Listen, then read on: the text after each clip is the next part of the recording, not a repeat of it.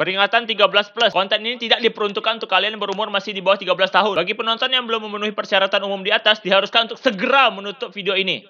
Terima kasih sudah klik video ini, tapi jangan lupa guys, klik tombol subscribe karena subscribe itu gratis. Dengan subscribe, kamu apresiasi channel ini untuk terus upload hampir setiap hari. Ingat, subscribe itu gratis. Gratis, nggak ada ruginya kamu klik tombol subscribe. Selamat menonton, enjoy the video.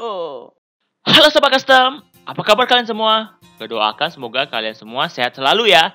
Nah, kali ini gue akan men-share lagi lokasi dari Molten Parrot. Player China ini gue lihat sih rajin banget ya nyari Molten Parrot sampai dia akhirnya nemu loh.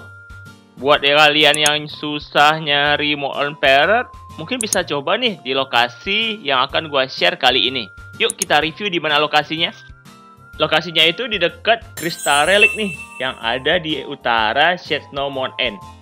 Koordinatnya 9614-16384. Nah, ini ada lokasi di petanya.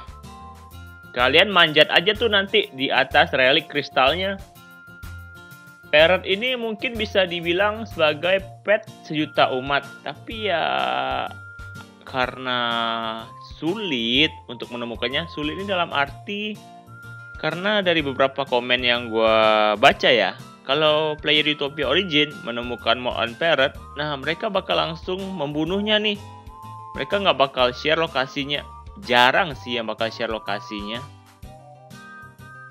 Bahan untuk membuat fit menjinakkan Moan Parrot, nah itu adalah pertama Ebelon. Ebelon itu adalah salah satu yang harus kalian pancing tuh. Karena itu menurut gue bahan yang paling sulit ya bukan paling sulit sih yang memakan waktu dibanding dengan dua bahan lainnya. Dua bahan lainnya itu adalah chili fit sama satu lagi wheat fit. Nah, kalian bisa mencari gandum dan cabe. Player Chan ini mulai nih untuk mengurangi darah dari parrotnya. Wah, dia cuma pakai pentukan wortel dong. Hadiah dari garden. Gue sendiri sih belum punya ya pentukan wortel ini. Karena gue belum main Utopia Origin lagi. Nah, Parrotnya udah kena stun nih. Dan dia mengeluarkan fitnya yang dia bawa tuh 56. Kita lihat berapa sih sisa dari fit yang dia gunakan ini. Apakah kepake semuanya 56-nya? Atau masih ada sisa?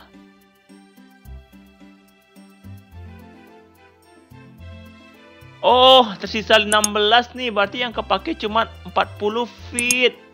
Nah, dia punya speed terbangnya itu 8169. Hmm, lumayan sih.